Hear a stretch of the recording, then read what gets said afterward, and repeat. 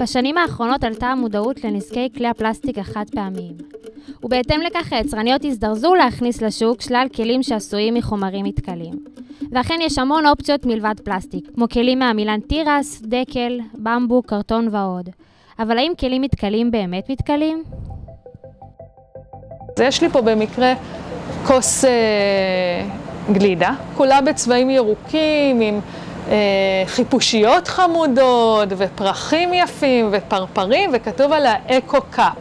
וואו! ויש עליה תווית חשובה שאומרת OK compost. מה זה אומר? זה אומר שבמתקן קומפוסט מיוחד, בהינתן נתוני טמפרטורה מסוימים, זה יתפרק חזרה לדשן. הם צודקים. אבל זה אומר שהכוס הזאת צריכה להגיע למתקן הזה. ואם היא מגיעה לים, אין שם את התנאים האלה, והיא סביר להניח תישאר בדיוק כמו כוס פלסטיק רגילה. אז למה בעצם מבקשים מאיתנו לקנות כלים מתכלים? ולמה כשאנחנו הולכים למסעדה ומבקשים קפה קר, מבקשים מאיתנו לשתות מקש מקרטון ולא מפלסטיק? התשובה? קפיטליזם, או יותר נכון גרין ווש. יצירת תדמית סביבתית ירוקה שמטה את הצרכן ומסתירה ממנו את הנזקים שהחברה מייצרת לסביבה בפועל. ככה שאפשר לומר שכל זה לא יותר מטכניקה של שיווק או יחסי ציבור. אז מה בעצם אפשר לעשות מול כל זה? והאם בכלל יש תקווה שדברים ישתנו?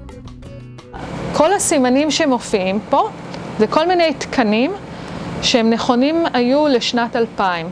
עברו מאז 21 שנה. הגיע הזמן לעדכן את התקנים האלה כדי לתת תווית מיוחדת לאיזשהו חומר שאנחנו יודעים שגם בסביבה הימית הוא באמת יתפרק. ובאמת להמשיך במרוץ הזה שיש בעולם, למצוא חומרים יותר ידידותיים לסביבה. ולי חשוב אולי להעביר הכי את המסר שחד פעמי הוא לא באמת חד פעמי, ותחזרו לשטוף כלים, לא יקרה שום דבר, ותשתמשו ברב פעמי. ואני בדיוק חזרתי מקמפינג, לא היה לנו שם שום מוצר חד פעמי, פשוט שטפנו כלים.